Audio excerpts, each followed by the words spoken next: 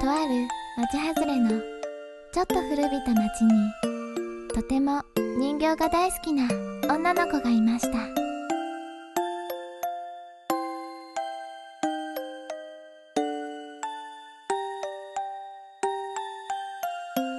その女の子は町のおもちゃ屋さんでお母さんにおねだりして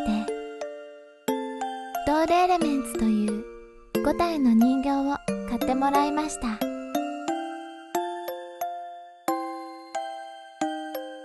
女の子はドールエレメンツを着せ替えをしたり一緒に遊んだり大変可愛がりました。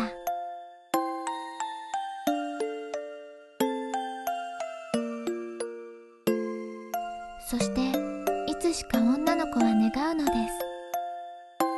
ああこのお人形が本物のお友達だったらどれだけ私は幸せなんだろう。5体の人形は思いました。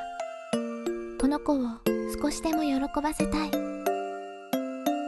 そんな時奇跡は起こるのです。